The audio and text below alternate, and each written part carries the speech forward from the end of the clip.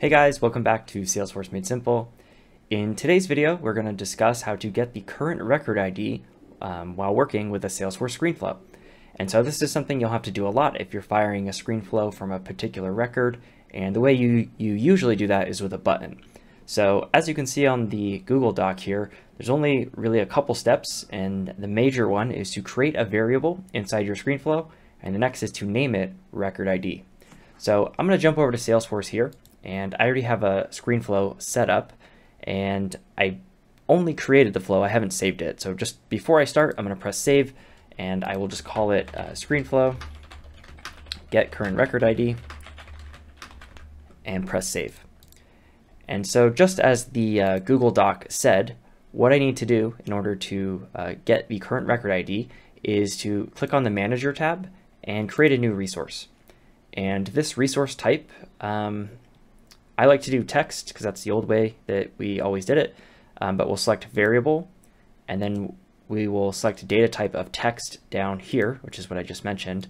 And then the API name of this variable is the key ingredient to make this work. So if you type in lowercase record, uppercase I, lowercase d, um, I've found that you know if you change this, sometimes there can be errors, um, and, and this way pretty much always works. So that's the first thing is you need to name the API name of your variable record and then uppercase I and then lowercase d. So lowercase record, uppercase I, lowercase d. And then the next thing you need to do, and this is also extremely important, otherwise nothing else will work, is to check this box here that says available for input.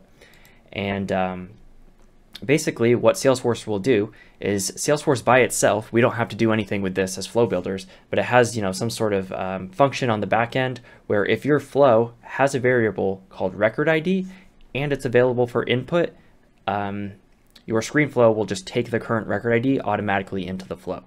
And it's really that simple. So I'm gonna press done here. And now that we've created this variable, that's all we have to do in order to pair the ScreenFlow with a record. And so let's, you know, take some more steps here.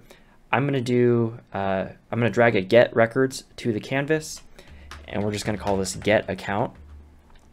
And we're just going to look up um, the account object where the ID of the account equals that variable record ID. And now I want to point out you do not have to do uh, this get records in order to get the other variable part to work. I'm just doing this to show you what you can then do in the flow once you have the record ID variable created. And in this case, what we're doing is we're taking this text record ID variable that Salesforce will populate, and we're using it to go get the entire account record. Um, so once that's all set up, you can press done, connect your ScreenFlow to your get account.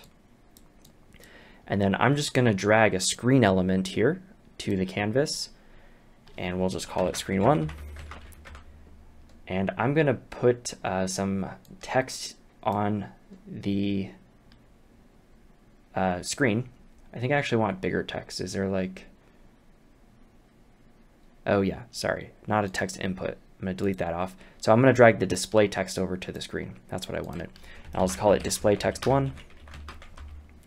And then I'm gonna type um, the record ID is and then I'm going to insert that record ID variable by clicking insert a resource and selecting the record ID. And so you can see with the merge syntax here, we now have our text and then we have our record ID. And then I am going to click insert a resource one more time. I'm going to click the account and then I'm just going to search the name. So now we have um, inserted a resource for the account name and I'll say the account name is colon space. And so what I've done here is I've just um, created a screen, put some display text on the screen, and then used both our text variable and the get account uh, get records to kind of populate some information here in the screen. And that's all I'm going to do with the flow. You'll see why this is important in a second. But now I will press done. I will connect the get account to the screen and press save. And then I'm going to activate this flow. So I'll press activate and now what we need to do is we need to make this flow accessible from an account record. So I already have an account open. It's called Edge Communications. And we're going to build a button that shows up here um, next to the edit and new contact buttons. So from this account screen, I'm going to click open the gear icon. I'm going to press edit object. And this is going to take me to the account object in the object manager. I'm going to select button, links, and actions. Then I'll select new action. And you get this um, you know, configuration screen. So the first thing we'll do is we'll change the action type to a flow. And then we'll select the flow we want to use. Um, and mine is the second one in the list here. So I have a couple other uh, flows in this environment, but we called ours uh, screenflow-get current record ID. So if you named it something different, uh, pick that here, and then I'll just call this uh, account screen is what the uh, name of the button will be when it's on the UI. And so once we've labeled it and the name pops up, we can then press save. And then we can click over here um, on the object name in order to navigate back to the account object. And then we can click the page layout. And what we need to do now is just add that button to the page layout. And I don't remember exactly which page layout the system admin profile has. Okay, so by clicking on the page layout assignment, I was able to find out it's the account layout. So I'll just click the account layout and then from the uh, mobile and lightning actions section here, we see that our account screen button is available. And I can just drag that down here. Oh wait, oops.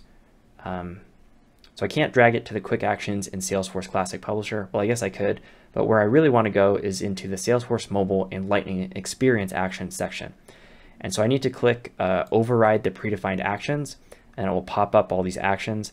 There's a lot here by default, so I'm just going to take the account screen and put it at the very uh, front of the line. I will then press save. And now, if I go back to an account, um, I'm hoping this won't take too long, but if I refresh the screen, we should see our account screen button here uh, on the UI, and we do, and so that's great. So now what I'm going to do is I'm going to demonstrate by pressing this button what our record ID uh, variable does um, on the back end. So we'll press the screen button and you can see our screen pops up.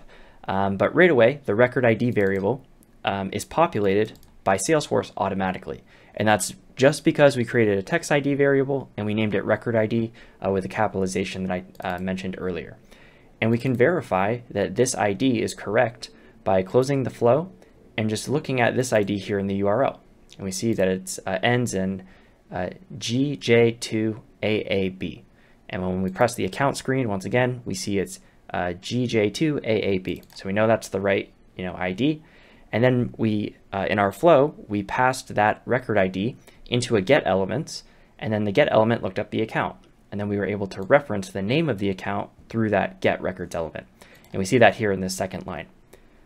And that's it. That's all there is to it. So uh, takeaway, you know, going back to our Google Doc, is you just create a variable with the text data type.